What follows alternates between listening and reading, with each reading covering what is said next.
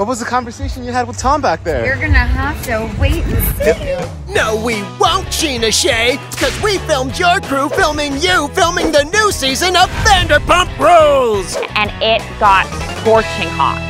Oh. So almost the whole cast was out at Sur. Let's see, there's Tom, and there's Tom, and there's Tom's ex Ariana, and there's Tom Hader Lala. Did it get heated in there at all? Oh, it always gets heated. But it looks like Tom's other woman, Raquel, fully ghosted. So at one point, um, cameras were filming, and there was a one-on-one conversation with Scheana Shay and Tom Sandoval. Authentic. Yeah, yeah. if you had I'm done. And scene.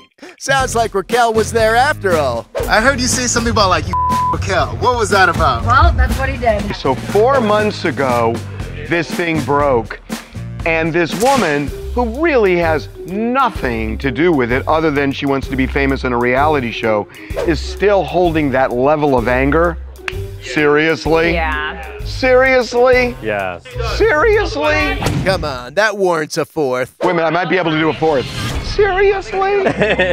All right. I mean, the only person you really want to hear from now is Raquel. And I'm already annoyed that we're not going to hear from her till episode eight. They're not gonna do eight episodes bet, without her. I bet you it'll be till episode like six or Charlie, seven. she may not come back. I don't think she'd come back. Why would she? If For Sur's new brunch offerings?